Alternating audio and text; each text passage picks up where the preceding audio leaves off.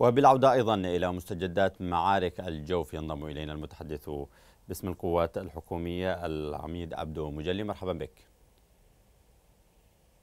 يا أهلا وسهلا بك يا أخي العزيز. مرحبا بك. يعني لليوم العاشر على التوالي اشتعلت المعارك في الجوف ويبدو أن هناك تقدمات للقوات الحكومية. ما جديد هذه المعارك؟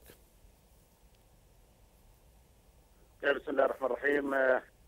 حقق الجيش الوطني المسنود بالطيران التحالف العربي انتصارات كبيرة وحاسمة على الميليشيات الانقلابية الحوثية التي حاولت التسلل إلى منطقة الساقيه وكذلك أيضا إلى منطقة الغيل وحام وكبدها الجيش الوطني كبد الجيش الوطني الميليشيات الانقلاب الحوثي الخسائر الكبيرة في الأرواح والمعدات واستطاع القضاء على تلك التسللات التي حاولت بين الحين والآخر لكن الجيش الوطني كان لها بالمرصاد أيضا هناك انتصارات حققها الجيش الوطني في جبهه صراح واستطاع تحقيق تقدمات كبيرة على الأرض والقضاء على التسللات التي حاولت الميليشيات الانقلابية الحوثية الاقتراب من مواقع الجيش الوطني.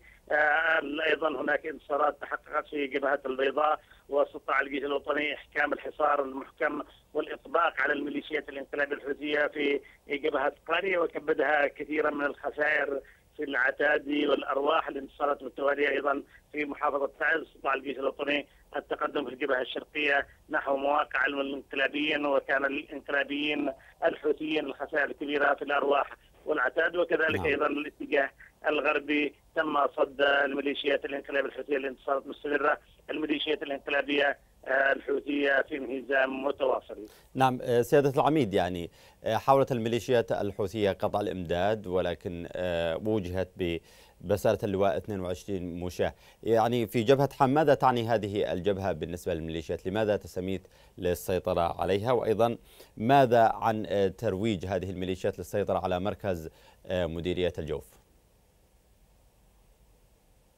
الميليشيات الانقلاب الحوثيه أخي توزع الانتصارات الوهمية ولكي تلقي بعناصرها إلى تلك المحارق وإلى وإلى تلك المهالك في تلك الجبهات القتالية نعم.